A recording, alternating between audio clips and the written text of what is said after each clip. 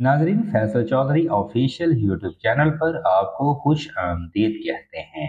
पाकिस्तान के सूबा पंजाब के सबक गवर्नर गुलाम मुस्तफ़ा खर का दिल यकीनन उस वक्त धड़कना भूल गया होगा, जब उन्होंने जेटी रोड पर लाहौर और रावलपिंडी के दरमियान आधे रास्ते में आने वाले खारिया कैंट के करीब एक मुकाम पर टैंकों का पूरा दस्ता खड़े हुए देखा होगा।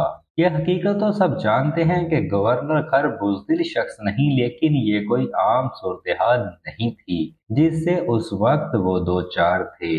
वो एक सरकारी मर्सिडीज बेंज चला रहे थे, जिसकी पिछली नशिस्त पर पाकिस्तान आर्मी के आखिरी कमांडर इन चीफ जनरल गुल हसन खान और पाकिस्तान फजाइया के commander in chief air marshal Rahim Khan बैठे थे, जबकि जनरल गुल हसन की पसली से वफाकी वज़ीर गुलाम मुस्तफ़ा जतोई के पस्तौल की नाली टकरा रही थी। आर्मी और फजाइया के सरबराहान को सदर जुल्फकार अली भुट्टो के हुक्म पर ईवान सदर रावलपिंडी से गवर्नर हाउस लाहौर ले जाया जा रहा था।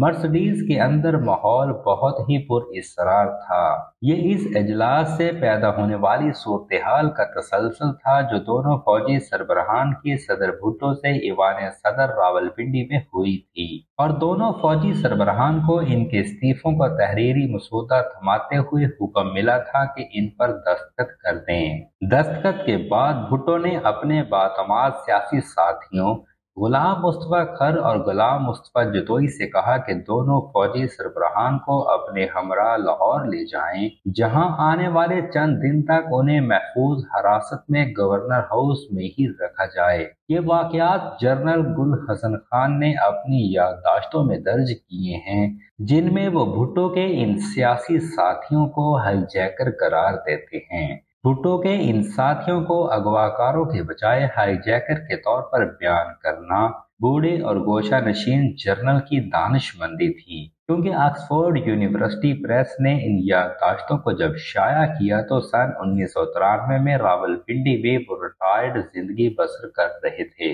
और उस वक्त मुल्क में सियासी कशमकश और अफरा तफरी अरूज पर थी। जनरल गुल हसन इन वाकयात को अपनी यादाश्तों में कुछ इस तरह बयान करते हैं कि लाहौर के बीच रास्ते में उस वक्त गाड़ी की रफ्तार यकदम मजीद तेज हो गई थी जब खर की नज़र सड़क किनारे खड़े चंद टैंकों पर पड़ी, ये देखकर एक या दो लम्हे के लिए खर के दिल की धड़कन यकीन रुक गई हो गई। इनको शक गुजरा होगा कि खारिया में मौजूद एक आर्मर डिवीज़न गिद्दी नशियों की भरपूर मदद से इनको घेरने के लिए ताक लगाए मौजूद है। तीन मार्च उन्नीस सौ बहत्तर इतवार की शाम थी जब भुट्टो आर्मी और फजाइया के सरबराहान पर सख्त गुस्से में थे क्योंकि इन दोनों ने हड़ताल करने वाली पुलिस की जगह आर्मी और फजाइया को तैनात करने के इनके हुक्म को मानने से इनकार कर दिया था। भुट्टो ने आर्मी और फजाइया के सरबराहान को मुलाकात के लिए ईवान सदर तलब किया। ये वो जमाना नहीं था जब सिविलियन हुक्मरान खास मुलाकात के लिए आर्मी चीफ्स को मधु किया करते थे। भुट्टो ने गुल हसन और एयर मार्शल रहीम पर बरहमी का इजहार किया पाकिस्तान पीपल्स पार्टी की दूसरे दर्जे की क्यादत गुलाम मुस्तफ़ा जतोई, गुलाम मुस्तफ़ा खर, मुमताज़ भुट्टो और उस वक्त के कौमी सलामती के मशीर जनरल अकबर खान भी इस मौके पर मौजूद थे। जनरल गुल हसन ने अपनी यादाश्तों में ईवान सदर में होने वाली इस मुलाकात का पूरा हाल खुलकर बयान किया है, जिसमें उन्होंने इस्तीफा दिया था। हती कि उन्होंने शुरा के मुकालमे तक नकल किए हैं। भुट्टो ने बात का आगाज़ किया कि मैं लगी लिपटी रखे बगैर साफ़ बात करूँगा। हम एक के बाद दूसरे बहरान का सामना कर रहे हैं। इनमें से ताज़ा तरीन पुलिस की हड़ताल है। आर्मी और फजाइया दोनों ने हुकूमत की मदद से इनकार कर दिया है। मेरे ख्याल में वक्त आ गया है कि हम मजीद आगे नहीं चल सकते। आर्मी और फजाइया की तरफ़ से कोई तामन नहीं किया जा रहा और मैं इस सूरत हाल में हुकूमत चलाने के लिए तैयार नहीं हूँ। फिर भुट्टो ने जवाब के लिए एयर चीफ की तरफ़ देखा तो रहीम खान बोले, मुझे फैसलाबाद के ऊपर नकली परवाजे कराने के लिए कहा गया, लेकिन मैंने ऐसा करने से इनकार कर दिया। क्योंकि पाकिस्तान फजाइया का ये काम नहीं। जनरल गुल हसन अपनी याददाश्तों में एयर चीफ का जवाब नकल करते हैं कि ऐसी हंगामी सूरत से निपटने का काम आर्मी का है। जहाँ तक ताउन का मामला है तो मैंने इससे कबल कभी इनकार नहीं किया। गुल हसन की याददाश्तों के मुताबिक भुट्टो एयर चीफ के साथ बहस के मूड में नहीं थे। लिहाजा उन्होंने जनरल हसन की तरफ़ देखकर सर को जनबश दी। वो लिखते हैं, मैंने कहा कि जो मुतालबात किए जा रहे हैं, अगर वो कानूनी न हुए तो आर्मी की तरफ़ से अदम ताउन जारी रहेगा। जहाँ तक मेरी ज़ात का तल्लुक है तो मैं तंग आ चुका हूँ और कोई भी मुझे कागज़ कलम लाकर दे सकता है। मैं अभी इसी वक्त अहदा छोड़ने को तैयार हूँ। जनवरी उन्नीस सौ बहत्तर में पंजाब पुलिस के निचले दर्जे के अफसरान और अमले ने दाएँ बाजों की जमातों के उकसाने पर गैर मुना मुद्दत के लिए हड़ताल कर दी थी। इनका हुकूमत से मुतालबा था कि तनख्वाहों में 100 फ़ीसद इजाफा किया जाए। ये वो वक्त था जब सबूत मशरकी पाकिस्तान के बाद पैदा होने वाली सूरत हाल को हुकूमत संभालने की तगोदो में थी। भुट्टो हुकूमत के लिए सियासी अदम इसकाम की बहुत ही बुरी सूरत हाल दरपेश थी। जनरल गुल हसन के इस्तीफा देने पर आमादी का सुनकर भुट्टो ने अपने हवारियों की तरफ़ देखा। जिन्होंने ब्रीफ केस खोला और दो फ़ाइल कवर्स निकाल कर रहीम खान और दूसरा मेरे हवाले कर दिया। इनके अंदर पहले से टाइप शुदा इस्तीफे थे।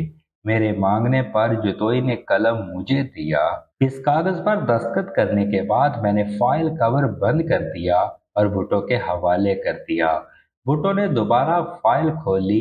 शायद वो तस्दीक करना चाहते थे कि मैंने वाक़ता दुरुस्त तौर पर दस्तखत किए हैं। मैं सोच रहा था कि शायद वो मेरे दस्तखतों का नमूना मंगवा कर इससे इसका मौसना करेंगे।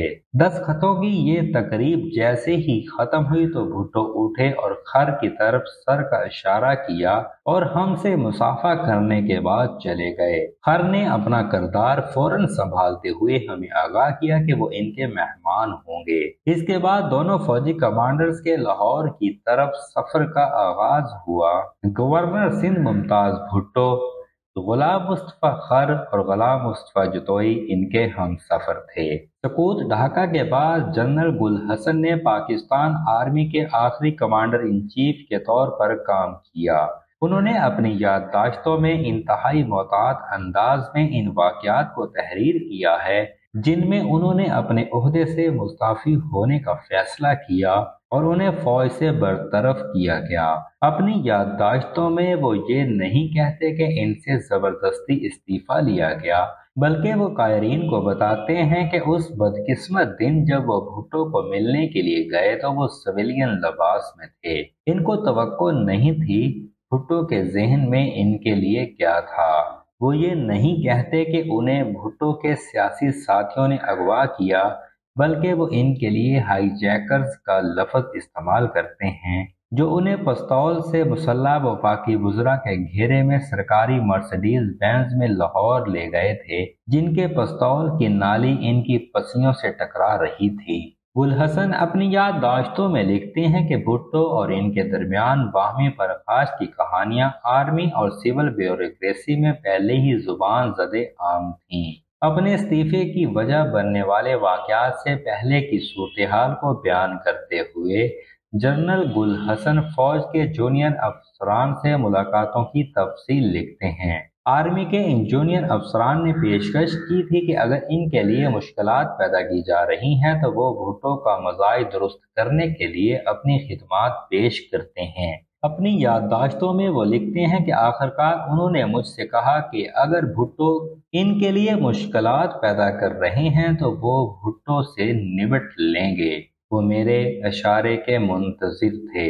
जनरल बुलहसन ने अपनी याददाश्तों में लिखा कि इस मुलाकात में नौजवान अफसरान की गुफ्तगु को मैंने फजूलियात करार दिया, लेकिन बरसों बाद पंजाब के गवर्नर गुलाम मुस्तफ़ा खर ने किताब आर्मी एंड डेमोक्रेसी के मुसनफ़ आकिल शाह को बताया कि civilian intelligence of Pakistan intelligence bureau IB ने भुट्टो को इतला दी थी कि दोनों जनरल गुल हसन और एयर मार्शल रहीम खान के फौजी बगावत करने का इम्कान है। जनरल गुल हसन भी भुट्टो और पीपी के दीगर रहनुमाओं की सरगर्मियों पर नज़र रखे हुए थे। तजर्बाकार, सियासतदान और भुट्टो के करीबी साथी मुबशर हसन ने आर्मी एंड डेमोक्रेसी के मुसन्फ आकल शाह को यही बताया था। तिरासी बरस की उम्र में भी पंजाब के सबक गवर्नर और जुल्फकार अली भुट्टो के करीबी साथी गुलाम मुस्तफ़ा खर काबिल रश्क और चुस्त ज़िंदगी बसर कर रहे हैं।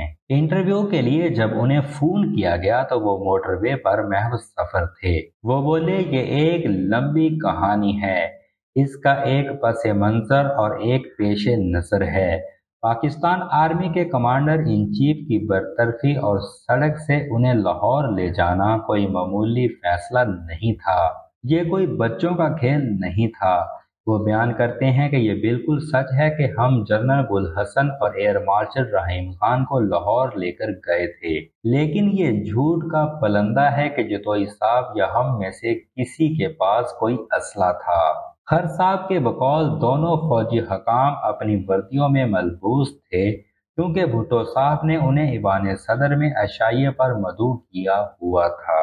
गुलाम मुस्तफ़ा खर ने इस दावे को मुस्तरद किया कि दोनों कमांडर्स को सड़क से लाहौर ले जाने का फैसला हाई जैकिंग या अगवा था उन्होंने बताया कि ये हाईजैकिंग, अगवा या इस तरह की कोई और चीज़ नहीं थी। इनके मुताबिक जनरल गुल हसन के बारे में हमें बड़ी खतरनाक इतलात मिल रही थी, जिनसे हमें पता चला कि भुट्टो साहब और इनके करीबी साथियों के बारे में जनरल के मंसूबे बड़े ही खतरनाक हैं। हमारे सामने दो ही रास्ते थे। या हम हार मानकर इनकी मनसूबा बंदी को अपनी तकदीर का लिखा समझकर कबूल कर लेते या फिर अपनी जवाबी हमत अमली तरतीब देते। हमने जवाब में अपना लाहेमल बनाने का फैसला किया, जिसकी हमारे बाद साथियों ने मुखालफत भी की। लेकिन हमने खुद से यह सवाल किया कि फौजी क्यादत के मंसूबों का मुकाबला करने के लिए तारीख हमें किस तरह से याद रखेगी पाकिस्तान में हर हुकूमत को फौज से खतरा रहा है। ये खतरा भुट्टो हुकूमत को भी दरपेश रहा। उस बदकिस्मत दिन के बारे में हर के वाकयात की तरतीब बैना वही है जो जर्नल गुल हसन ने बयान की है। ताहम वो इसे अगवा या हाई जैकिंग से ताबीर नहीं करते। अलबत् वो ये ज़रूर तस्लीम करते हैं कि लाहौर पहुँचने पर फौजी कमांडर्स को गवर्नर हाउस में रखा गया था। खर ने रावलपिंडी से लाहौर जाते हुए रास्ते में टैंकों का दस्ता देखने से मुतलिक जो कहानी बयान की। वो जनरल गुल हसन के दावे से कुछ मुख्तलिफ़ है। ये दुरुस्त है कि गुजरावाला के करीब आर्मी कानवाई देख कर यकीनन मेरे दिल की धड़कन तेज हो गई थी। वो जेंटलमैन वर्दी में बलबूज थे और अगर वो हमें पकड़ लेते तो हम ज़िंदा न बचते। मुस्तफ़ा खर ने कहा कि ये खारिया का मुकाम नहीं था। जीटी रोड पर गुजरावाला के नज़दीक एक जगह थी। मैं बहुत तेज गाड़ी चला रहा था। क्योंकि हम खतरे में थे।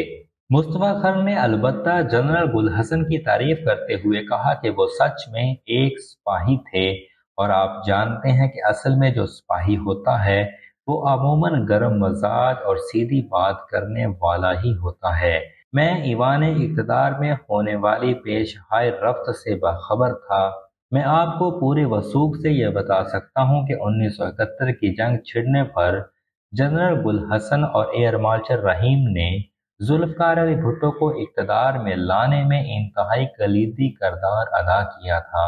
लेकिन जब उन्होंने भुट्टो के लिए खतरनाक मंसूबे बनाने शुरू कर दिए और हमारे पास कोई और चारा न रहा तो हमें ये कदम उठाना ही पड़ा। लाहौर पहुँचने पर गवर्नर हाउस के मेहमान खाने में जनरल गुल हसन और एयर मार्शल रहीम खान के ठहरने का बंदोबस्त था।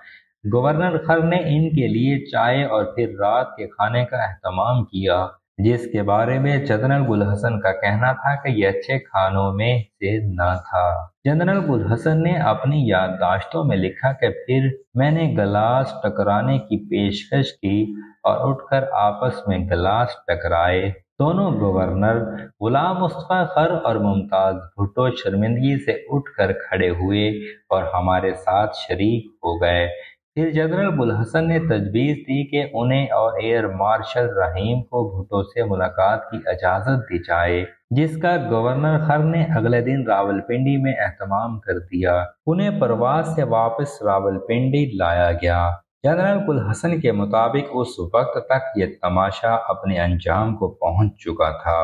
गुल हसन के मुताबिक इससे कबल के वो भुट्टो मुझे शको शुबा में मुबतला करने के लिए किसी झूठ का सहारा लेते मैंने इनसे कहा कि मेरा इस्तीफा लेने के लिए उन्होंने ये तमाशा क्यों रुचाया? जनरल गुल हसन तहरीर करते हैं कि उन्हें महज ये करना था कि मुझसे कह देते और मैं किसी हिचकचाहट के बगैर अहदे से इस्तीफा दे देता। जनरल गुल हसन के मुताबिक जवाब में भुटो खामोश रहे। तलाफी के तौर पर दोनों फौजी कमांडर्स को दौलतमंद मगरबी ममालिक में सफ़ीर तैनात कर दिया। नाजरीन, इसके साथ ही हम आपसे इजाज़त चाहते हैं। हमारी मज़ीद वीडियोस के लिए हमारा चैनल सब्सक्राइब कीजिए और बेल के निशान को दबा दीजिए। शुक्रिया।